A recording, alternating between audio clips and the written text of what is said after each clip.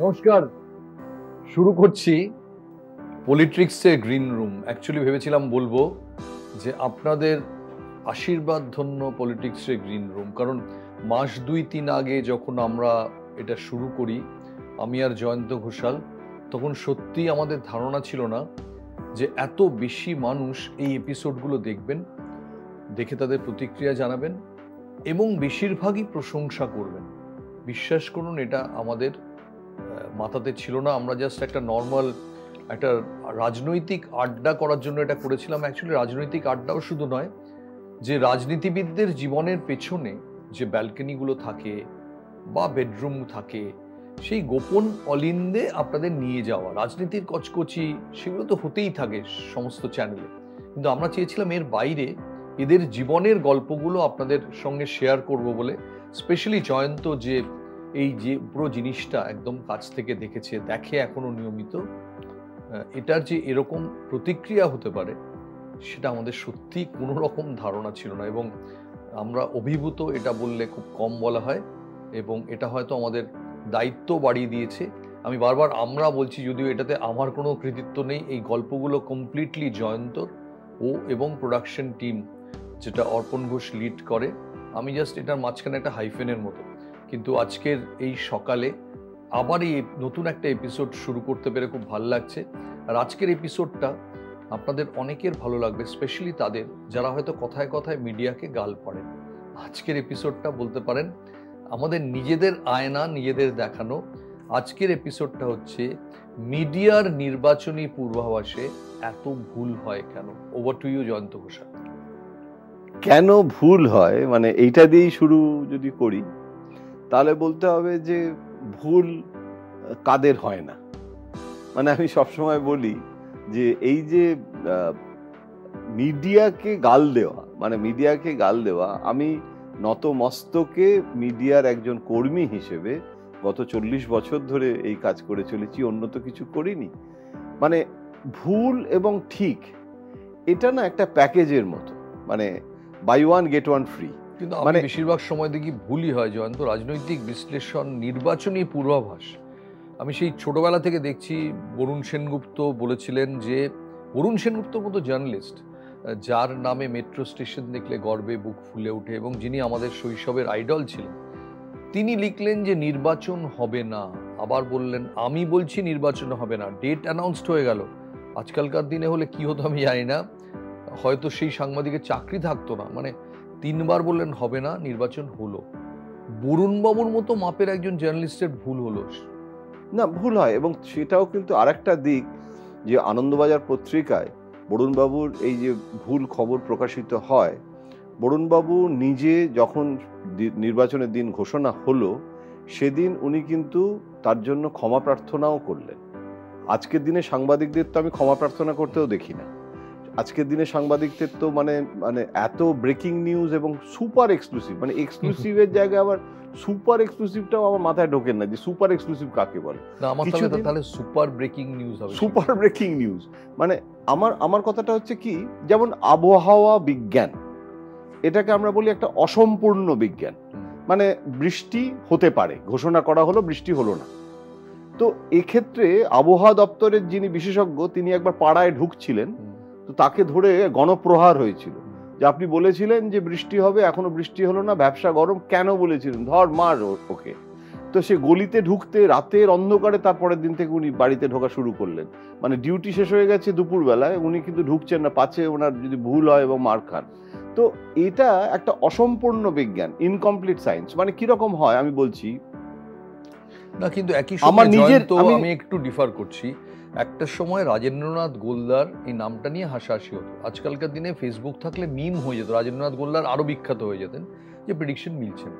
আজকালকার দিনে কিন্তু আলিপুর আবহাওয়া অফিস উইথ উন্নততর মেশিনারি অনেক বেশি মেলাচ্ছে কিন্তু। মেলাচ্ছে। আমি তো সেই জন্য বলছি যে মেলাচ্ছে এবং মেলাচ্ছে না। আমি মানে যাকে বলে একদম মানে আমার নিজের ভেতর থেকে আমি বলছি, একদম আত্ম স্বীকারোক্তি আর কি। মানে এটা আমি সাংবাদিক বলি, আমার মনে হয় আমার অধিকার আছে আত্মসমালোচনা করা। বহু জায়গায় আমি পড়াই, আমার মিডিয়া ইনস্টিটিউটে আমি মিডিয়া সায়েন্সের ফ্যাকাল্টি আমাকে অনেক জায়গায় এই মিডিয়া নিয়ে আলোচনা হয়। ইভেন আমাকে একজন প্রকাশক আমাকে মিডিয়া নিয়ে বই লিখতে বলেছেন, তো আমি তাকে বলেছি যে আমি বইটার নাম দেব অবিচুয়ারি অফ ইন্ডিয়ান মিডিয়া তখন উনি বলেন যে, এই তো ভয়ঙ্কর নেগেটিভ হয়ে যাবে। আপনি এত সিনিক কেন হয়ে গেছেন? আমি বলছি যে কেন ভুল হয়, সাংবাদিকদের ঘাড়ে দোষ পড়ে, এই যে এক্সিট পোলের ভুল হওয়া, বেশিরভাগ ক্ষেত্রেই কিন্তু সংবাদপত্রের স্বাধীনতাটা না, সংবাদপত্রের মালিকদের স্বাধীনতা হয়ে গেছে। এটা খুব একদম আমি বলছি, এবং আগে তো সাংবাদিক সম্পাদক হতো, এবং এটা টাইমস অফ ইন্ডিয়া থেকে শুরু হয়েছে যে মালিক সম্পাদক হয়ে গেল। এবং আমি বলি যে এগুলো হচ্ছে যারা সাংবাদিক, তারা, তাদের যারা চিফ রিপোর্টার তাদেরকে আমি বলি এডিটোরিয়াল ম্যানেজার্স এবং যারা নিউজ এক্সিকিউটিভস বলতে পারো, সাংবাদিক না বলে, তুমি বলবে কেন? ভুল কেন হয়? যে আমি যদি প্রথমেই প্রেজুডিসড হই, যে আমাকে বিজেপিকে জেতাতে হবে, এবং তার জন্য অনেক রকমের কায়েমি স্বার্থ আসছে, তার জন্য অর্থ অ্যাডভার্টাইজমেন্ট এই সব কিছু মিলে তখন হয় কি যে একজন রিপোর্টার সে বেচারা তাকে কিন্তু কার্যত ডিকটেট করে দেওয়া হয় যে এই লাইনে প্রত্যেকটা সংবাদ মাধ্যমের, আমি তো খুব প্রেডিক্টেবল হয়ে গেছে। এক্সক্লুসিভ খবর কোথায়? আমি তো খবরের কাগজ এখন দেখলে, যেগুলো টিভিতে হয়ে গেছে, তার বাইরে কোনো একটা মানে আমি দেখো নিজের কথা বললে না, মনে হবে যে নিজের কথা বলছি। কিন্তু পোখরান বিস্ফোরণ হবে, সেটা আমি লিখেছিলাম এবং এটা কিছুদিন আগে একটি মানে বইতে ওরা আমার এটা স্বীকার করেছে যে এরকম হয়েছিল এবং তখন খবরের কাগজে সেরা কিছুদিন ছাপবে না। এবং এটার জন্য অনেক ঝামেলা হয়েছিল, কেননা আমাকে আর্মি থেকে ডেকে পাঠিয়েছিল যে কারণে এটা ন্যাশনাল সিকিউরিটির প্রশ্ন এটা একটা ব্রিচ অফ হিউজ এটা হয়েছিল এবং এটা সবাই জানে। কিন্তু কিন্তু এটা আমি নিজের কথা কখনো বলি না এটা বলতে বাধ্য হলাম এই জন্য যে সবসময় যে সব ভুল হয় তুমি বলছো না সবসময় ভুল হয় না। আমি খবরের কথা বলিনি কিন্তু আমি নির্বাচনের কথা বলি আচ্ছা নির্বাচনের কথা নির্বাচনের ক্ষেত্রে কি হয়? আমি তো আমি যদি আমার ব্যক্তিগত মত বলো গৌতম আমি না নির্বাচনের যে সার্ভে সেটা তুলে দেওয়ার পক্ষে there should not be any exit poll এটা শুনলে হয়তো সংবাদপত্রের যারা মালিক, তারা অসন্তুষ্ট হবেন। কেননা এটা একটা বিরাট ব্যবসা। এটা টিআরপি দেয়, এটা হিট দেয়, এটা ভিউয়ার দেয়, যে যেখানে। মানে সার্কুলেশন দেয় প্রিন্টে সার্কুলেশন ইলেকট্রনিকে টিআরপি তারপরে ডিজিটালে ভিউয়ার কিংবা লাইক ইত্যাদি। আমার বক্তব্যটা হচ্ছে, আমি নিজে পলিটিক্যাল সায়েন্সের ছাত্র সোশ্যাল সায়েন্স আমাদের বলা হতো যে এটা একটা ইন্ডাকটিভ মেথোডোলজি এই যে ইলেকশন বলছো না ইন্ডাকটিভ মেথোডোলজি মানে আচ্ছা আপনি কাকে ভোট দিয়েছেন, আপনি কাকে ভোট দিয়েছেন? আরে বাবা, যেমন পশ্চিমবঙ্গে ভুল হয়েছে। পশ্চিমবঙ্গের মানুষ আরও সচেতন, আমি যদি বিজেপিকে ভোট দিই বা আমি যদি তৃণমূলকে ভোট দিই, উল্টোটা বলব। তো এটা একটা বিরাট ফ্যালাসি হচ্ছে। মানে আমি ধরে নিলাম লাল গোলাপ লাল গোলাপ লাল গোলাপ, আরে ভাই, সাদা গোলাপ যে আছে সেটা তো আমার যে স্যাম্পলগুলো সেই স্যাম্পল সার্ভেটাতে স্যাম্পলিংগুলো কতটা সাইন্টিফিক আমি কিন্তু এক্সিট পোলের কথাও বলছি না। আমি বলছি ফরগেট এক্সিট পোল আমাদের যে সাংবাদিকরা যাচ্ছেন তারা যে লেখা লিখছেন তারা যে খবর করছেন কিছু কিছু অংশ বায়াস তারা একদম বায়াস কিছু অংশ তারা ওই তুমি যেটা বললে বিজেপিকে জেতাতে হবে কিংবা জেতাতে হবে। মানে এটা হচ্ছে প্রিকনসেপ্ট হয়ে গিয়ে নিরপেক্ষভাবে আমি বলছি যে আমরা অভিক সরকারকে দেখেছি। মানে অভিক সরকারকে দেখেছি মানে অভিক সরকারকে দেখে ধন্য হয়েছি, আমি লিটারেলি বলব যে এরম ধরনের ব্যক্তিত্ব মিডিয়া ওয়ার্ল্ডে দেখা যায়। কিন্তু আমি ওইপুর প্রেডিকশন রাজনৈতিক প্রেডিকশন নির্বাচনী আমি কখনো মিলতে দেখিনি। তুমিও দেখোনি, আমার মনে হয় তুমিও দেখোনি। না অভিভাবক কথা বললে আমি অভিভাবকের একটা কথা বলছি যে কি করলে মানে আর কি ঠিক হয় খবরের ক্ষেত্রে। সোনিয়া গান্ধীর সঙ্গে একজন নেতা দেখা করেছেন, কংগ্রেসের কোনো নেতা। এবং একজন রিপোর্টার খবর করেছে যে সোনিয়া গান্ধী তাকে এই বলেছে, ওই বলেছে, সেই বলেছে। উনি খবরটা ছাপলেন না। উনি বললেন যে, প্রথম কথা যে, সোনিয়া গান্ধী ওকে বলেছে। তো রিপোর্টার কি সোনিয়া গান্ধীর সঙ্গে কথা বলেছে? বললাম যে, না, অমুকের সঙ্গে কথা বলেছে, যে দেখা করেছিল। বলো আমি সোনিয়া গান্ধীকে যতদূর জানি, সোনিয়া গান্ধী ঠিক এইভাবে কথা বলেন না। এবং উইদাউট সোনিয়া গান্ধীর ভার্সান এটাতে ভুল হওয়ার সম্ভাবনা থাকে এই জন্য জার্নালিস্টদের মানে অ্যাপার্ট ফ্রম ইলেকশন আমি তুমি বলছো যে আমরা অনেক সময় দুপক্ষের বক্তব্য মানে আর একটা সাইডের বক্তব্য নিতে পারি না অনেক সময় সময় হয় না বা অনেক সময় নিই না অনেক সময় মোটিভেটেড হই ভুল সেই কারণেও কিন্তু হয়। আমি তোমাকে যদি তুমি আমাকে একটা ছোট আমি কিন্তু এই ওই দিকে আলোচনাতেই যাচ্ছি না আমি সোনিয়া গান্ধীর কথা বলছি না। সাধারণ মানুষের প্রতিক্রিয়াটা বুঝতে ভুল হবে কারণ আমি তোমার এই নির্বাচনে বলছি যে আমাদের এই চ্যানেলের যিনি সম্পাদক, তিনি আমায় বলেছিলেন, বিজেপি খুব বেশি হলে এগারো থেকে বারো এই এই সিট এক্সিট পোল থেকে আমি একটা অ্যাভারেজ করলাম, তেইশ। আগের দিন রাত্রিরে আমার ইসমাল ক্লাবের থেকে একজন কর্তা ফোন করলেন, কত পাবে বিজেপি? তেইশ। বিকজ আমি তো এক্সিট পোল একটা অ্যাভারেজ করে নিয়েছি। শুধু আমার একটা খচখচ করছিল মমতা ব্যানার্জির একটা মন্তব্য যে আমি কি তাহলে এদের বুঝতে এত ভুল করলাম? আমার মনে হলো হয়তো বুঝতে ভুল করেছেন। আবার আমার মনে হলো, আমি রচনা ব্যানার্জির সময় দেখেছি, গ্রামকে গ্রাম বেরিয়ে পড়েছে হুগলিতে, অথচ সবাই বলছে, হুগলিতে বিজেপি জিতবে। তাহলে কি আমি যেটা গ্রাম থেকে ভুল দেখলাম? আমি কিন্তু, আমি বলছি, আমি তো ফিল্ডে যাইনি।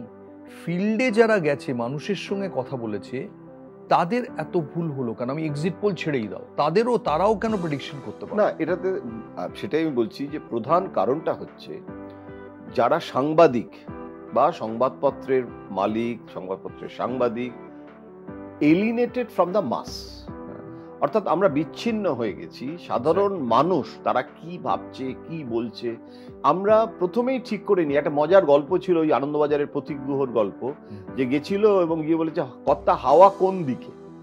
সে মাঝি তাকে জিজ্ঞেস করেছে। তো সে মাঝি যখন যাচ্ছে নৌকা নিয়ে সে তখন খুব ঝড় আসার সম্ভাবনা। তো চিৎকার করে বলছে, মাঝি, আজকে বলো, তুমি তো ভোট এসে গেছে, হাওয়া কোন দিকে? তো বলছে, কর্তা, আজ হাওয়া চতুর্দিকে, বড় বিপদ। তো ওর কাছে কিন্তু ইলেকশনটাও জানেই না। ওর কাছে, আমরা কিন্তু আগে থাকতে যখন কোনো একটা কনস্টিটিউয়েন্সিতে যাই, তুমি আমাকে বলো তো আমরা কতটুকু সময় নিয়ে সেই জায়গাটায় যাই, কতটুকু সময় নিয়ে আমরা সেই সময়টা বিচার করি? আমি তোমাকে বলছি যে, আমরা, আমি আমি নিজের উদাহরণ দিয়ে বলছি যে খুব খারাপ লাগে, যেটা আমি বলছি না যে অবিচুয়ারি অফ ইন্ডিয়ান মিডিয়া মাঝে মাঝে মনে হয় দুঃখ হয়, আবার ভাবি যে পরবর্তী প্রজন্মের জন্য এতটা সিনিক্যাল হওয়া উচিত নয়, অনেক ভালো ভালো রিপোর্টার অনেক ভালো ভালো কাজও তো করছে, সুতরাং আমি কেন শুধু শুধু মানে এত সিনিসিজম হবে? তার থেকে বিদায় নেওয়া ভালো। সাংবাদিকতা থেকে আলবিদা বলে দেবো, কিন্তু অবিচুয়ারিটা লিখব না। এটা তো মনের কথা। কিন্তু আমি তো বলছি, গৌতম, যে ভুল হওয়ার পেছনে প্রধান কারণ হচ্ছে যে আমরা না ভীষণভাবে রাজনৈতিকভাবে পোলারাইজড হয়ে গেছি। অর্থাৎ একটা জার্সি আগে গায়ে দিয়ে ফেলছি। এবং একটা নিরপেক্ষ আমি রাজনীতি যেহেতু কভার করি আমি স্পোর্টস বা এন্টারটেনমেন্ট ওয়ার্ল্ডের কথা জানি না। ওখানেও শুনেছি যে গোষ্ঠী এই পক্ষে ওই পক্ষে। আমি আমার বিটের কথা বলছি সেখানে হয় তুমি মানে একটা বনাম। হয় তুমি ইস্ট বেঙ্গল নয় তুমি মোহনবাগান। আরে ভাই ফুটবল কভার করতে গেলে তুমি ফুটবল কভার করতে গেছো। আমি যদি এখন মনে হয় যে আমি তাহলে হয় তৃণমূল নয় বিজেপি। হয় তুমি কংগ্রেস না তাহলে তুমি বিজেপি মানে সে মানুষের সঙ্গে কথা বলার আগে নিজেই সিদ্ধান্ত নিয়ে ফেলেছে। নিয়ে ফেলেছে এবং আমি সার্ভাইভ করতে পারছে না। একটা রিপোর্টার যে অমুক চ্যানেলের রিপোর্টারকে বিজেপির নেতা পছন্দ করে এবং তাকে বাইট দেয়। সে অমুক চ্যানেলের তমুককে বাইট দেয় না কেননা ও তৃণমূলের সাংবাদিক। তো সাংবাদিক তৃণমূলের সাংবাদিক বা বিজেপি সাংবাদিকই বা হবে কেন? এবং আমি হই না বলে আমি আমার দুপক্ষ থেকে গালিগাল যদি যখন বললাম যে আঠেরোর তলায় যাবেই। আমি এইটুকু বলেছিলাম যে আঠেরোর তলায় যাবে। মানে বিজেপির তো দু হাজার উনিশে আঠেরোটা হয়েছিল যদিও আমাকে তৃণমূলের অনেক নেতা বলেছে ওটা আপনি ভুল বলেছেন ওটা কুড়ি থেকে বলা উচিত। কেননা শিশির অধিকারী আর ওই শুভেন্দুর ভাইয়ের মানে দুটো সিট তো ওটাও তো ওদেরই ছিল। সুতরাং ওটা বিজেপির ইস্যু ছিল। অ্যাকচুয়ালি বলা উচিত কুড়ি থেকে কমে গিয়ে বিজেপির এটা হয়েছে। আঠেরোটাও আপনার ভুল হয়েছে। কিন্তু আমি ধরে নিচ্ছি ভুল হয়েছে। কুড়ি থেকে আমি বলেছিলাম যে আঠেরো থেকে বাড়বে না। আর সেখানে বিজেপি নেতারা বটল দাবি করছে যে এবারে খোদ প্রধানমন্ত্রী বলেছে যে পশ্চিমবঙ্গেতে একটা মানে চৌকানেওয়ালা নাতি জায়গা। তো এখন সেখানে আমি যখন ওটা লিখছি, তখন আমাকে বলা হচ্ছে যে আমি তৃণমূলের দালাল, আমি অমুক তমুক, সে মানে একদম পরে শুনলাম যে ওই যে গালিগালাজটা।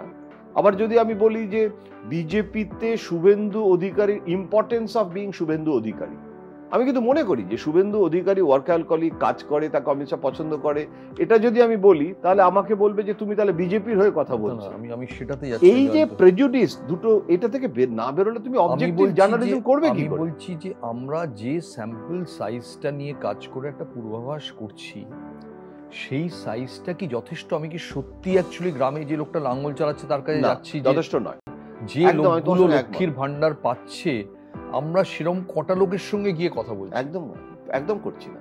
এমনকি এই সমস্ত বেসরকারি সংস্থাগুলোর বিশ্বাসযোগ্যতা যারা এই সার্ভেগুলো করে, সেটা নিয়েও কিন্তু এবারে প্রশ্ন উঠে গেছে। এবং সেটা নিয়ে আমি তো যা শুনলাম যে বিরোধী পক্ষের অনেকে মামলা মোকদ্দমা করছে। আদালতে যাচ্ছে, পার্লামেন্টের হাউসে মানে exit poll will be a major issue এবার তুলতে যাচ্ছে। এবং সেটা শুধু তৃণমূল বলে নয়, ইন্ডিয়ার সমস্ত তারা তুলবে।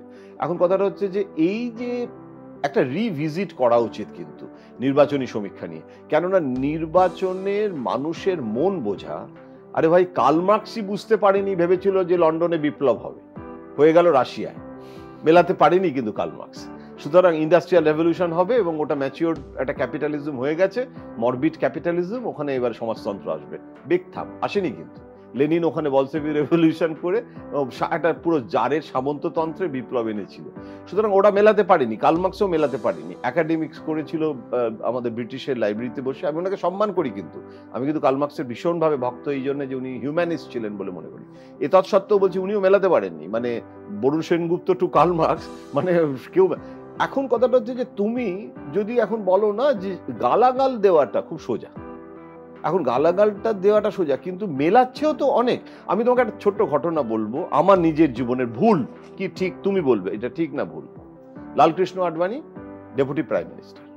কান্দাহারে অমৃতসরে ওই সেই হাইজ্যাক হলো এবং ওরা সব এ করে দিল, পণবন্দি করল।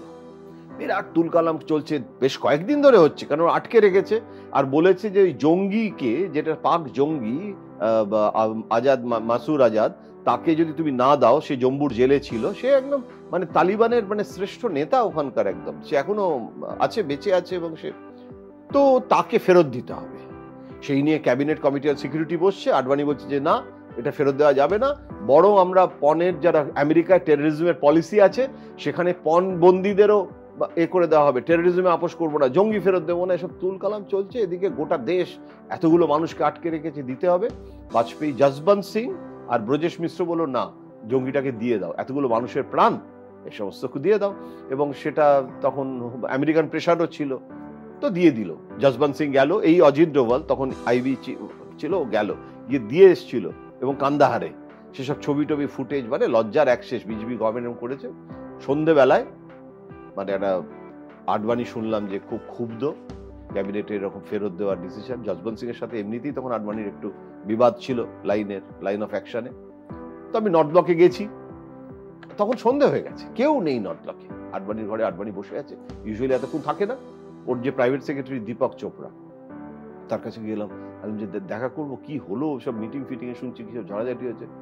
বলছে, যাও মুড বহুত খারাপ বহুত খারাপ কথা নেই, ক্যা করে আমি গেলাম। গেলাম আডবাণী একা বসে আছে, একটা কাগজ পেন নিয়ে। হ্যালো আডবাণীজি কি হয়েছে?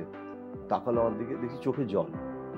উনি খুব ইমোশনাল ছিলেন, টস করে চোখে জল পড়তো। তো বসলাম একটা কিছু লিক ছিল, আমাকে না এরকম দিয়ে দিল। আমি দেখছি ওনার রেজিগনেশন লেটার যে আমি রিজাইন করছি। তো আমি বললাম যে, কেন? বলছে, না, আমি আর এস এস করেছি, আমি রাষ্ট্রবাদী, অমুক তমুক, জঙ্গি, আমি ডেপুটি প্রাইম মিনিস্টার হোম আর জঙ্গিকে ফেরত দেওয়া হলে তো ইতিহাসে লেখা থাকবে। আমার পক্ষে এরপরে আর ক্যাবিনেটে থাকা উচিত না। বলে আমি বাজপেয়ীজির কাছে যাচ্ছি রেজিগনেশন লেটার দিতে। বলে এবং উনি কোনো কথা শুনলেন না আমার সাথে বেশি কথা বললেন না বেরিয়ে গেলেন। আমি তখন কিন্তু লাফাচ্ছি। আফটার অল যতই দুঃখ হোক যাই হোক আমার তখন ভাবছি যে জীবনের জীবনের একটা স্টোরি রিজাইন করতে যাচ্ছে। এবং আমি শুধু দীপককে বললাম দীপক খুব মুড খারাপ। কেননা এই প্রাইভেট সেক্রেটারিদের বিপদ সবচেয়ে বেশি হয় না। চাকরিটা তো থাকবে না। কালকে থেকে তো মন্ত্রী না থাকলে ওরও তো গাড়ি বাড়ি সমস্ত বন্ধ হয়ে যাবে। এরা তো আডভান্টেজকে সামঝাও সামঝাও করছে আমাকে।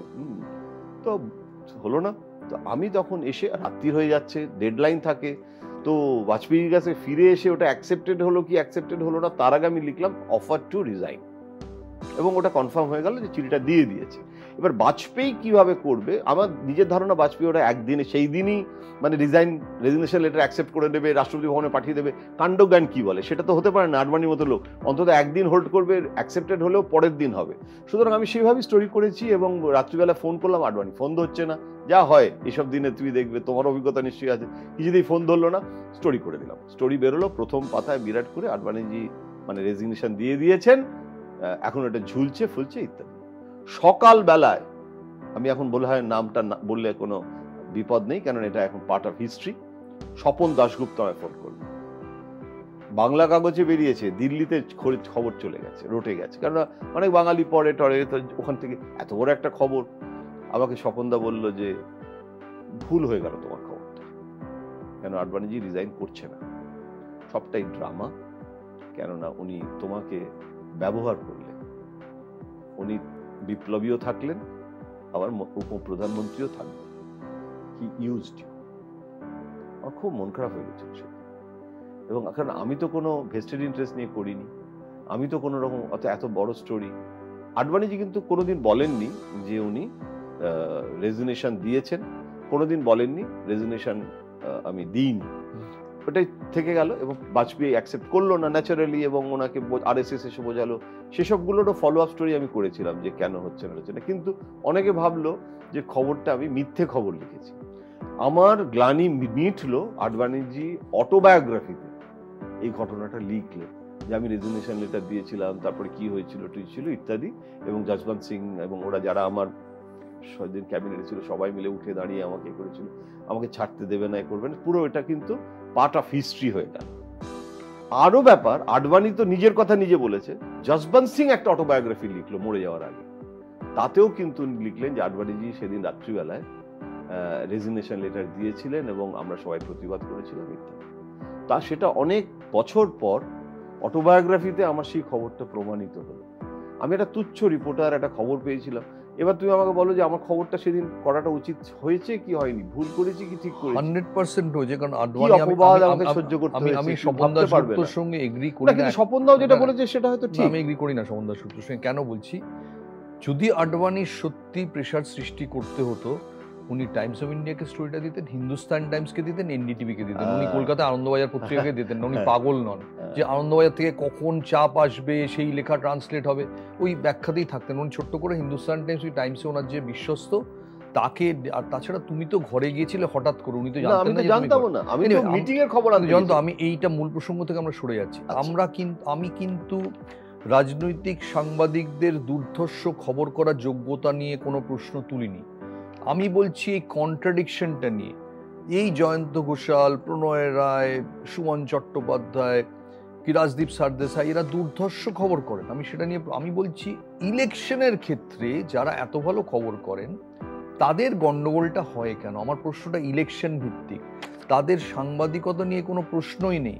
আমি নিজের একটা ব্যর্থতার কথা বলি যে, আমি বিনোদন পত্রিকার সম্পাদনা করেছি প্রায় সাতাশ বছর।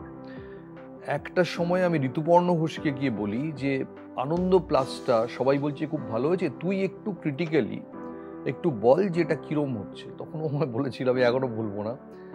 বলল, বাকিগুলো খুব ভালো হচ্ছে। ফিল্ম রিভিউটা আমার মনে হয় তোদের লজ্জা। আমি বললাম, যে কেন? বলল, তোরা টাইটানিককে বলেছিস ভালো ছবি নয়, আর অভিশপ্ত নাইটিকে দিয়েছিস দশে নয়, গৌতম। ওইটা আমি আর পড়ি এমন হি ওয়াজ অ্যাবসলিউটলি রাইট এবার তুমি বলতে পারো যারা একটা পত্রিকায় চার পাতার সাড়ে তিন পাতা এত ভালো সম্পাদনা করত, তারা ফিল্ম রিভিউ সেকশনটায় বিশ্বাসযোগ্যতা আনতে পারেনি কেন? ডিসপাইট বেস্ট এফার্টস আনতে পারেনি। আমি খুব খোলাখুলি বলছি যে ফিল্ম রিভিউসটা কিছুতেই বহু চেষ্টাতেও হয়নি। আমি ব্যাখ্যা করতে পারব না, হয়তো নানান কারণ ছিল, অনেক সময় প্রেশার থাকে, যারা লেখেন তারা প্রভাবিত হন, তারা সত্যি কথা বলতে চান না। আমি একজন একজন বিখ্যাত একজনকে আমি বলেছিলাম যে আপনি এই সিনেমায় লিখেছেন যে পাউলি ভালো করেনি। আমি শুনলাম পাউলি ভালো কি সত্যিই করেনি? আমি যে, আমি সিনেমাটা দেখিনি, আমি জানি না। তুমি বললেন আচ্ছা আমি দেখছি। পরের দিন উনি রিভিউ লিখলেন আউটস্ট্যান্ডিং করেছে পাউলি এবার একটা লোক, সে প্রথম দিন প্রায় নামই লিখলো না। আমি তাকে জিজ্ঞেস করেছি, আমি বলছি, আপনি ঠিক করুন, কিন্তু আপনি নামই লেখেননি, নায়িকার? বলে আউটস্ট্যান্ডিং করেছে পাউলি এবার এরম অনেক সময় হয় মিডিয়া ওয়ার্ল্ডে সব কিছু তোমার কন্ট্রোলে থাকে না। আমি সাংবাদিক হিসেবে আরও বেশি জানতে চাই যে এটা কেন হয়? এই যে মমতা ব্যানার্জি কথাটা বললেন যে আমি কি তাহলে ভুল দেখেছিলাম? খুব সিগনিফিকেন্ট কথা আমি বলব মিডিয়ার জন্য। তো ওনার সঙ্গে জনসভায় তো এত লোক কাভার করেছে, এত লোক গেছে তারা দেখতে, তারা কি দেখতে পায়নি? তারা মানে তাহলে তো আমি চাই সেই সাংবাদিক যে আগে না এক্সিট পোলের দিন দাঁড়িয়ে থেকে বলবে যে না, এগুলো ভুল, আমি যা দেখেছি এইটা এইটা। আসলে কি হচ্ছে যে অনেক সময় এখানে দুটো কথা আমি বলব। একটা হচ্ছে যে গোটা দেশ জুড়ে বিশেষ করে দিল্লি থেকে যেটা হয় পৃথিবী জুড়েই হচ্ছে। একটা সাংঘাতিক একটা না ভার্চুয়াল রিয়েলিটি তৈরি করা হচ্ছে থ্রু মিডিয়া অর্থাৎ এমন বিজ্ঞাপন আগে তো শুধু পার্টির বিজ্ঞাপন হতো এখন যেটা হচ্ছে যে কফি কফিটা খাও। হ্যাঁ কফিটা খাচ্ছি। এখন আলোচনা দিয়ে তীব্র হয়ে গেছে। না না এখন যেটা হচ্ছে যে তোমার এমন ভাবে প্রেজুডিস করা হচ্ছে। তুমি দেখেছ, খবরের কাগজেও পলিটিশিয়ানরা কত কলম লিখছে?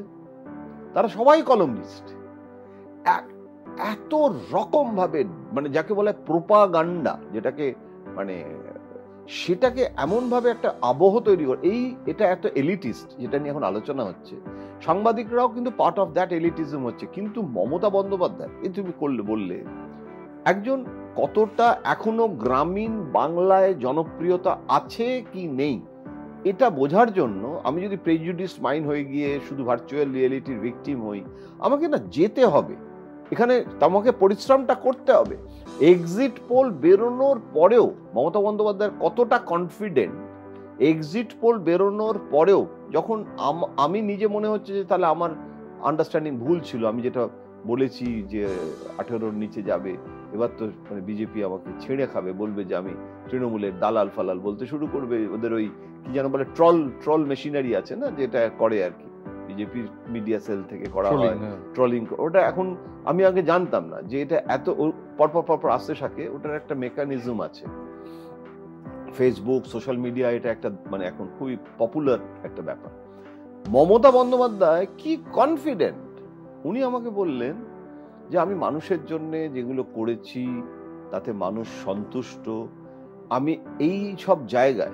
এমনকি আমাকে বললেন যে, আপনারা দক্ষিণ কলকাতা যখন বিজেপিকে দিয়ে দিয়েছেন এক্সিট বলে, তখন আমি নিশ্চিত যে, আপনি বিয়াল্লিশটা আসনই দিয়ে দিন। আমি তবু বলব যে, আমার যা এস্টিমেট সেটা ভুল নয়। এবং উনি আমায় বললেন যে, আমি যখন যাই রোড শোতে বা কোথাও মানে ধরো পাঁচজন লোক তার মধ্যে চারজন লোক খুব হেসে একদম এগিয়ে এসেছে। একজন লোক কম হাসছে বা হাসছে না, একটু গম্ভীর হয়ে দূরে দাঁড়িয়ে আছে। উনি চোখ দেখে বুঝতে পারেন যে কে ওনার প্রতি কতটা মানে কমিটমেন্ট কার কতটা? এবং যে হাসছে না তাকে আবার উনি টেনে ধরেছেন। এই এই আন্ডারস্ট্যান্ডিংটা এটা আমি শুধু একটা উদাহরণ দিলাম। এটা কিন্তু অনেক রাজনৈতিক নেতা থাকে। আমি জিজ্ঞেস করছি যে আমি বলতে চাই আবার অনেকে থাকে না। সিদ্ধার্থ রায় হেরে যাচ্ছে সোমনাথ চ্যাটার্জির কাছে।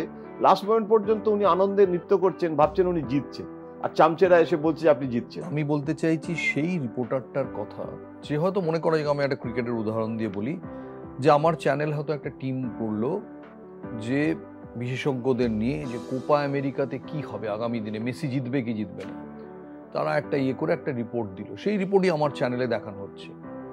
আমি তো একটা প্রফেশনাল রিপোর্টার আমার তো নিজস্ব একটা প্রাইড আছে।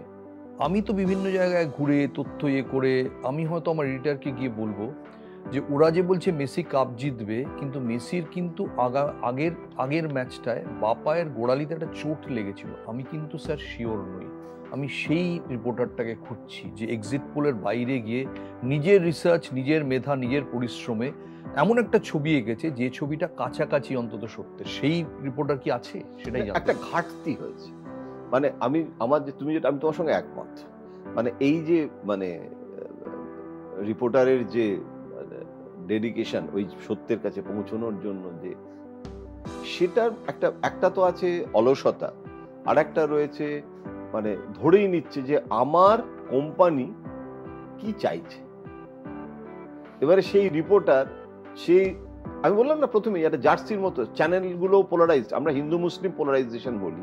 Political polarisation is also in very heavy মানে ব্লাড ট্রান্সফিউশন হয়ে যাচ্ছে। হ্যাঁ বরং বরং আমি তুলনামূলকভাবে যেগুলো টাইমস অফ ইন্ডিয়া বা আনন্দবাজার মানে তারা অন্তত প্রফেশনাল গ্রুপ তারা অন্তত এরম প্রেডিক্টেবল একটা তাও তাদের ক্ষেত্রেও সেই চাপ আসে বা বিভিন্ন সময় ইলেকশনের সময় আরও বেড়ে যায় এই পোলারাইজেশন এখন কি হয়? টিআরপির জন্য অনেকে বলে টিআরপির জন্য করতে হয় আমাদেরকে কেন এটা খাচ্ছে? এখন সে যে be that as it may যে কারণেই হোক একটা রিপোর্টার যখন যাচ্ছে সে যখন বলছে যে আমি দেখছি যে এখানে তৃণমূল জিতছে। আমাকে তুমি বলো যে চ্যানেলটা বাংলায় কমপ্লিটলি ডেডিকেটেড টু বিজেপি সে চ্যানেলটাতে কি করে সেই রিপোর্টার সেটা খাওয়াবে যে না তৃণমূল জিতছে? সবসময় কিন্তু রিপোর্টারকেও দোষ দিয়ে লাভ নেই। মানে এটা এত বেশি প্রেজুডিসড হয়ে যাচ্ছে এবং এটা দুদিকেই আমি কিন্তু কোনো পক্ষ নিয়ে বলছি আমার কোথাও মনে হয় জয়ন্ত যে যে রিপোর্টার গ্রাম বাংলায় যত বেশি ঘুরে বেড়ায়, কারণ এখনকার দিনে ভারতীয় বাংলা রাজনীতির ভবিষ্যৎ ঠিক করে দেয় গ্রাম বাংলা। মফস্বল, গ্রাম বাংলা, তাই তো? তুমি একমত? আমি খুব মানে কি বলব, একটা রুকি পলিটিক্যাল রিপোর্টারের মতো বলছি যে এরা ঠিক করে দেয়। সো আমায় যদি ভোটের রাজনীতির পালস রেট পেতে হয়, তাহলে আমার গ্রাম বাংলার অভ্যন্তরে ঘুরতে হবে। আমি আমাদেরই এই চ্যানেলের একজন, আমি তোমায় বলছি অনিকেত চট্টোপাধ্যায়। তোমার একটা বলছি, আমি জানি না তুমি ওই গ্রুপে আছো কিনা হোয়াটসঅ্যাপ গ্রুপে ওই ভোটের আগে এক্সিট পোল দেখে সবাই অবভিয়াসলি কনফিউজ হয়ে নানান কথা লিখছিল। অনিকেত তখন ওই গ্রুপটায় লিখলো যে কিনা ওই বীরভূম অঞ্চলে থাকে এবং ঘুরে টুরে বেড়ায়। ও বলল যে এটা যদি সত্যি হয়, তাহলে আমি যা দেখেছি সেটা সত্যি হতে পারে না। ওয়েট করি। আমি এইরম রিপোর্টারকে খুঁজছি যে অন্তত এটা কিন্তু কারণ আমি তো শুধু রিপোর্টার নই, আমিও তো একটা কোথাও পাঠক কিংবা শ্রোতা কি দর্শক? আমিও তো দেখতে চাইব যে আমি যেটা দেখছি সেটা সত্যি। আমার যদি এত ডাইভার্সন হয়, তাহলে আমি তাদের বিশ্বাস করব কেন পরের বার? ঠিকই, একেবারে ঠিক। এবং সেখানে যেরকম তুমি বললে, অনেকের ক্ষেত্রে অনেকের ক্ষেত্রে মানে নাম্বার যেগুলো সাংঘাতিকভাবে মিলেওছে মানে সেটা তখন তো অনেকে বিশ্বাসী, আমি ওই অতটা বিশ্বাস করিনি। কিন্তু অনেকে আমাদের কিছু রাজনৈতিক সংবাদদাতাদের ইন্টারভিউ করে ইন্টারভিউ করেছিল। সেখানেও কিন্তু আমার অন রেকর্ড বলা আছে যে আমি যে ফিগারটা বলেছিলাম সেটা তখন সবাই ওই যা বললাম যে ট্রলের শিকার হয়েছিলাম। কিন্তু কথাটা হচ্ছে যে আমি কিন্তু এটা তৃণমূলের পক্ষে মানে আমি যদি রাজনৈতিকভাবে তৃণমূলে সক্রিয় থাকতাম তাহলে তুমি বলতে না আমি শুধু বাংলা আমি বলছি না জানতো? আমি কিন্তু বাংলা বলছি না শুধু এবারের বলছি না তুমি যদি যখন আমি বলছি দু হাজার চারে ইন্ডিয়ান টিম পাকিস্তান গেল ওইরম বাজপেয়ীর ওইরম হাওয়া প্রমোদ মহাজন তখন তো প্রায় রন পায় করে হাঁটছেন সেই সময়। ইন্ডিয়া ইজ শাইনিং এবার বিজেপি যখন হারলো ভারতবর্ষে কেউ কিন্তু প্রেডিকশন করেনি বিজেপি হারবে। আমি জানি তুমি কি লিখেছিলে আমার মনে নেই। এই যে আমি এটাই বলছি এই যে রাজনৈতিক হাওয়াগুলো শুধু বাংলা নয়? ঐতিহাসিকভাবে লোকে বুঝতে অটল পারে বিহারী বাজপেয়ী যে হেরে যাবে মনমোহন সিং যে আসবে সেটা তো কোনো মিডিয়া দেখো এক এখানে আমরা যে আলোচনা করছি তাতে তুমি একটা বলছো পোলস্টার আমি যেমন পোলস্টার নই আমি পোলস্টার ধরছি না ওটা ধরছি না আমি মিডিয়ার কথা বলছি আর একটা হচ্ছে যারা মিডিয়ার সাংবাদিক। সাংবাদিকদের কথা আর একটা হচ্ছে যে যারা সংবাদপত্রের বা সংবাদ মাধ্যমের পরিচালক। তিনটে কিন্তু ক্যাটাগরি আলাদা। আমি পরিচালকটাও বাদ দিলাম। বাদ দিলাম এক্সিট পোল poll ও বাদ দিলাম। নরমাল রিপোর্টার এবারে নর্মাল রিপোর্টার মনমোহন সিং চলে এলো। নর্মাল রিপোর্টাররা আমরাই আমি ভুল করেছি। আমি ভুল করেছি। ভুল স্বীকার করতে কোনো লজ্জা নেই। আমি যে সব জানি সব ঠিক এটা যে বলবে হ্যাঁ মানে বরং আমি জানি না বা আমি ভুল করেছি এটা বলার মধ্যে একটা অন্তত মানসিক শান্তি আছে। তো মনমোহন সিং জিতলো। আমি কি বলেছিলাম বা আমরা কি বলেছিলাম বহু সাংবাদিকই বলেছিলাম যে সংখ্যা দিক থেকে বিজেপির বিপদ আছে। কিন্তু বাজপাই একটা রসায়ন আছে। So it's a chemistry versus mathematics ম্যাথামেটিক্সে তখন তো মনমোহন সিং জানতাম না হবে কংগ্রেস আসবে। মনমোহন সিং এর গল্পটা তো পড়ে সুতরাং কংগ্রেসের দিকে রাজ্যওয়ারি সংখ্যা আছে কিন্তু বাজপেয়ীর হাওয়া আছে বাজপেয়ী এইসবই তো লিখেছিলাম মনমোহন সিং হয়ে গেল। তোমাকে আমি বলছি আন্তর্জাতিক স্তরে আমরা ইন্ডিয়ান মিডিয়া তুমি ইন্ডিয়ান মিডিয়ার কথা জানতে চাইলে প্রথম মনমোহন সিং এর বিদেশ যাত্রা সেটা ছিল ব্যাংককে। এবং ওখানে বিমস্টেক সম্মেলন হয়েছিল লুকিস্ট তখন বলতো, এখন নরেন্দ্র মোদী ওটাকে অ্যাক্টিস্ট পলিসি করেছে। তো আমি গেছিলাম আনন্দবাজার পত্রিকার সাংবাদিক হিসেবে এবং সঞ্জয় বারু মিডিয়া অ্যাডভাইজার ছিল, বলল যে এটা লুকিস্টের ব্যাপার, তোমাকে আনন্দবাজারকে বাদ দিয়ে কি করে আমরা পূর্বের দিকে তাকাবো।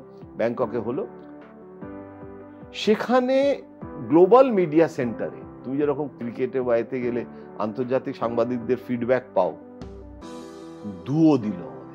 মানে মাথা নিচু করে মিডিয়া সেন্টারে ঘুরে বেড়াচ্ছি যে ইন্ডিয়ান মিডিয়া গ্লোবাল মিডিয়াকে বিপথগামী করেছে। বিভ্রান্ত করেছে। বিভ্রান্ত করেছে। যে তোমরা মনমোহন সিং এর সাথে মানে তোমাদের লজ্জা করে না মনমোহন সিং এর সঙ্গে সফর সঙ্গী হয়েছো? বলেছিল তো বাজপেয়ী আসছে।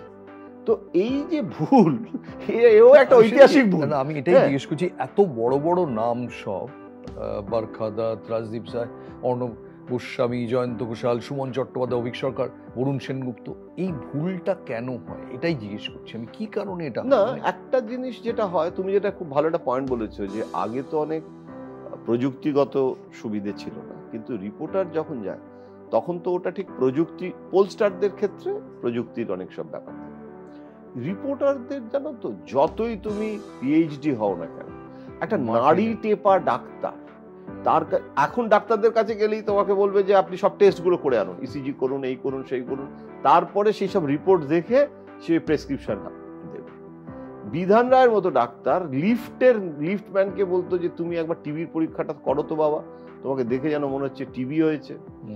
এই যে নাড়ি টেপা ডাক্তারের যে বিচক্ষণতা যে প্রজ্ঞা তার জন্য যে কোথাও একটা উই আর মিসিং এখন তুমি আমাকে আলোচনার মধ্যে দিয়ে একটা প্রশ্ন জাগিয়ে তুললে আমি মানে আজকের আলোচনাটা শেষ হয়ে যাওয়ার পর আরও গভীরভাবে ভাববো যে এই নাড়ি টেপা ডাক্তাররাও যেরকম কমে যাচ্ছে নারী টেপা সাংবাদিকের সংখ্যা কমে কেন? এই কেনর উত্তরটা তাহলে আমরা আমার একটা মনে হচ্ছে যে বিচ্ছিন্ন হয়ে যাওয়া। মানুষের থেকে গণদেবতা থেকে আমরা না বিচ্ছিন্ন হয়ে যাচ্ছি। আমরা শীততাপ নিয়ন্ত্রিত কক্ষে বসে আমরা ল্যাপটপ নিয়ে সাংবাদিকতা করছি কিন্তু তুমি যেটা বললে বিরাট গ্রামীণ ভারত সেখানে তারা তা না হলে অযোধ্যায় বিজেপি হারছে কোনো সাংবাদিক ভারতবর্ষে প্রেডিক্ট করেছে বা ইউপিতে যেরকম হবে কেউ লেখে কেউ কেউ লেখেনি কেউ লেখেনি তাহলে কোথাও একটা আমি যেটা বললাম যে ভার্চুয়াল রিয়েলিটির দ্বারা নিয়ন্ত্রিত একটা আবহ যে মোদি মোদি মোদি মোদি মোদি মোদি মোদি লহর এবং আরেকটা হচ্ছে যে আমি নিজে ব্যক্তিগতভাবে সেখানে গিয়ে এখন হেরে যাওয়ার পর সব ময়না তদন্তে কিন্তু জানা যাচ্ছে। এখন যোগী আদিত্যনাথ বলছে পঞ্চাশটা সিটে আমার ক্যান্ডিডেট দেয়া হয়নি। যাদেরকে আমি বলেছিলাম তারা জিততো, সেটা অমিত শাহ দিতে দেয়নি এবং সেই কারণে নাকি হেরেছে। এগুলো বলা সোজা। এখন রিপোর্টাররা সেগুলো বলছে যে এই কারণে হেরেছে, ওই কারণে হেরেছে, জাতপাতের জন্য হেরেছে। তো তুই সেটা আগেও আমরা বলতে পারিনি কেন? জাতপাতের সমস্যাটা, এখন আমি বলছি যে ধর্মের থেকেও জাতপাত বড় হয়ে গেছে, তো সেটা ভোটের আগে বলিনি কেন? এখানে কিন্তু একটা কায়েমি স্বার্থের ব্যাপারও কিন্তু গৌতম আছে, বারবার আমি যেটা বলার চেষ্টা করছি। অর্থাৎ আমি আগে থাকতে, যেটাকে ইংরেজিতে একটা কথা আছে না, ব্যাক ক্যালকুলেশন। অর্থাৎ তুমি কি চাইছো? মানে কোথাও একটা মনে হয় যে বরুণবাবু মানসিকভাবে প্রেজুডিসড হয়ে গেছিলেন এবং ভোটটা, সেটা অনেকে বলে প্রমোদ দাশগুপ্ত ওনাকে ইনফ্লুয়েন্স করেছিল। উনি বলেছিলেন দিল্লির সোর্স আমাকে বিট্রে করেছিল। সোর্স বিট্রেও করে। কিন্তু এটা তো তুমি যেটা বলছো সেটা তো সোর্স মানে তো রামশ্যাম যদু।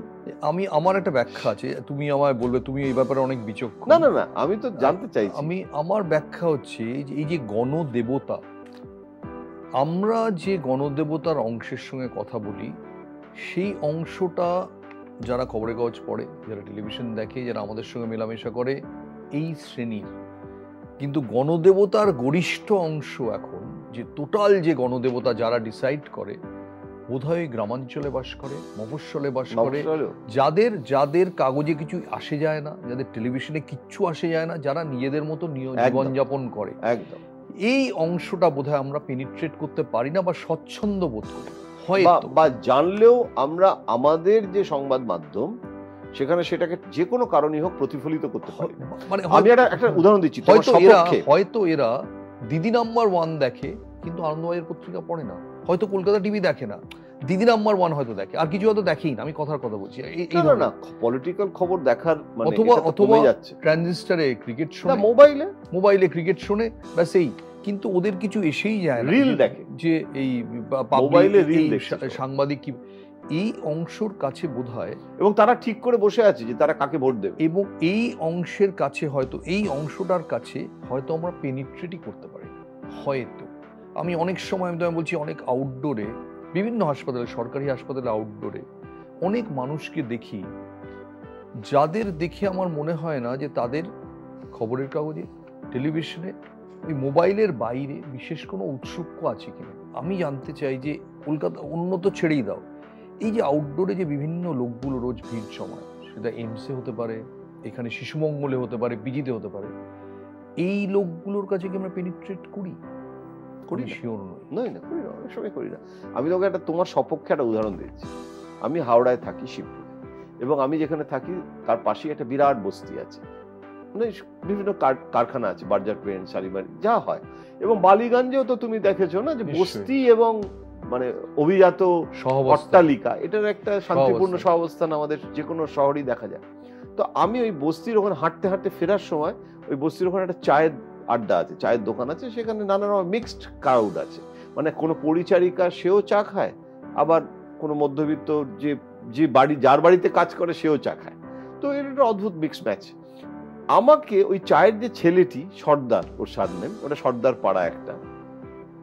তো সেই ছেলেটি ও চুপ করে থাকে। কেন? ওর কাছে তো তৃণমূল বিজেপি সিপিএম সবাই চা খায়। ও নিজের ওপিনিয়ন বলে না। এবং আমরা সবাই চাটা খাই বিরাট তর্ক টর্ক হয়। বাঙালি তো সকালবেলা ঘুম থেকে উঠেই তৃণমূল বিজেপি নিয়ে মারামারি করে আর ভোটের সময় আরও বেড়ে যায়। তো চলে গেল সব লোকজন। আমি বললাম যে তুমি তো চুপ করেছিলে। রঞ্জিত সর্দার বলো। তোমার মতামত বলো।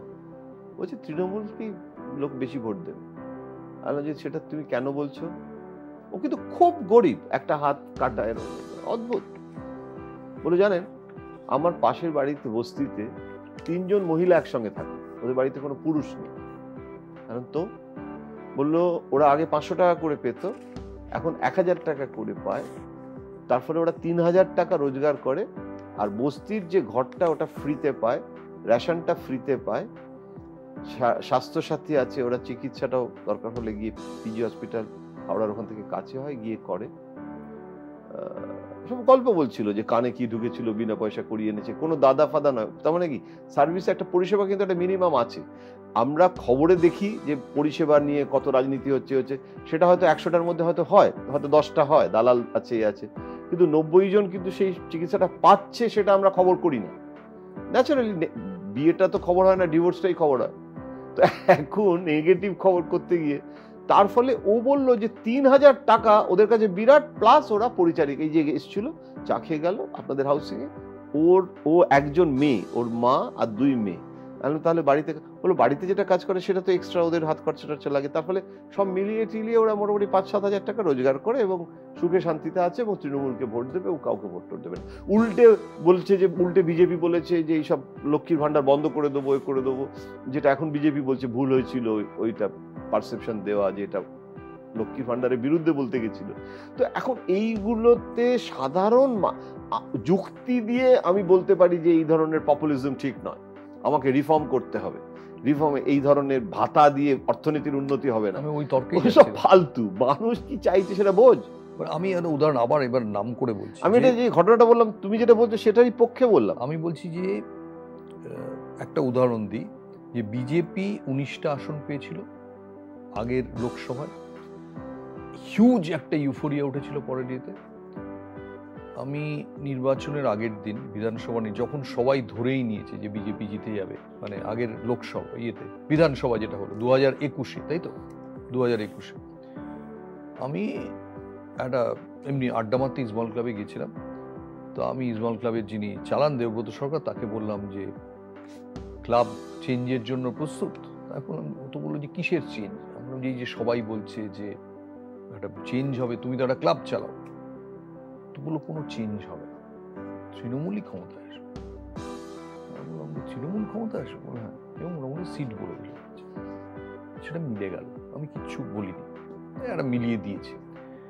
এবারের নির্বাচনের আগে আবার যখন এক্সিট পোল টোল হলো, আমি আবার ওকে কৌতূহল বসে আমি কিন্তু ধরে নিয়েছি যে বিজেপি ওইরকম বাইশ, এত এক্সিট পোল এতগুলো বলছে, কি করে ভুল হতে পারে? সো আবার আমি বললাম যে আচ্ছা এবার কি হবে? তো বলল যে, কেন? তৃণমূল আসবে। এ তো বলছে যে আমার তখন বলল যে তোমার কি মনে হয়? আমরা, আমার মনে হয় বিজেপি বাইশ তো বটেই। কি করে বুঝলে? আমরা যে অ্যাভারেজ অ্যাভারেজ করে বাইশ তেইশ হবে। তো বলল, বারোর ওপারে গেলে খুব আশ্চর্য, দশ হলে অবাক খবর আবার তাই তুই বিশ্বাস করে রেজাল্ট বেরোনোর পর আমি ভাবলাম, দুবার তো ফ্লুক হতে পারে না। আমি জিজ্ঞেস করলাম যেটা কি করে মেলালে? এটা কি আন্দাজে? বলো না। ইস্টবেঙ্গলের লোকরা গোটা বাংলা ছড়িয়ে আছে। আমাদের যে নেটওয়ার্কটা এটা গোটা বাংলা জুড়ে, সমর্থকরা প্রত্যেকটা জায়গায় ঘুরে ঘুরে আছে। এরা ফিডব্যাক দিয়ে দেয়। এবার আমার প্রশ্ন হচ্ছে যে ইস্টবেঙ্গল ক্লাব যদি একটা ফিডব্যাক আমি এটা ইস্টবেঙ্গলের জায়গায় মনমানও হতে পারতাম। আমি জাস্ট একটা উদাহরণ হিসেবে বললাম। তাহলে মিডিয়ার লোকদের একটা সমষ্টিগতভাবে এটা ছড়ানো নেই কেন? নাকি মিডিয়া, আবার বলছি ওই যে জায়গাটা যে জায়গাটা এখন অসম্ভব ইম্পর্টেন্ট হয়ে গেছে সেখানে পেনিট্রেশন করতে পারছে না। এটা আমি কিন্তু সমালোচনার জন্য বলছি না আমি জাস্ট বোঝার চেষ্টা করছি কেস স্টাডি হিসেবে। না না আর আমাদের সমালোচনা তো আত্মসমালোচনা। আমরা তো আমাদের নিজেদের পেশার যে দায়টা তার একটা একটা মানে দীর্ঘদিন সাংবাদিকতা করার পর কোথাও তো একটা আমাদেরও একটা দায়িত্ব আছে। মানে আমি তো ঠিক করেছি যে আমি পরের বার মানে তোমার ধর বিধানসভা, আমি এক্সিট পোলটা দেখবই না। এক্সিট পোল থাকবে কিনা বিকজ আমি একটা সাধারণ মানুষ হিসেবে, নাগরিক হিসেবে, আমি কমপ্লিট তার উপর আস্থা হারিয়েছি। এবার আমি অবভিয়াসলি সাংবাদিক হিসেবে, সাংবাদিকের প্রেডিকশনের উপর আস্থা হারাতে চাই না, কিন্তু জানতে চাই কি করলে সে অ্যাকিউরেট ছবিটা দিতে পারবে। না, একটা উপায় মানে যেটা সলিউশন সেটা হচ্ছে যে the journalist should get the liberty and the freedom properly এবং এটা হচ্ছে তাকে দিতে হবে আর তার কাছ থেকে প্রত্যাশা যেটা হবে, যে সে ঠান্ডা ঘরে বসে আমি গেলাম, আর গরমকালে আমি কোথাও গেলাম না, ঘরে বসে ঠান্ডা বিয়ার খেলাম, তারপরে সন্ধ্যাবেলা একটা কপি লিখে দিলাম। এই যে কালচারটা আমি বলছি না সকলে করে, কিন্তু এই কালচারটার যে অসুখ, সেই অসুখটা থেকেও কিন্তু রিপোর্টারকে বেরোতে হবে।